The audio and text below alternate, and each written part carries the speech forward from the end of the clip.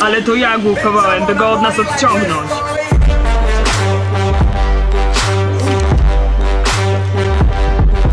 Powinieneś być mi wdzięczny, że w ogóle istniejesz.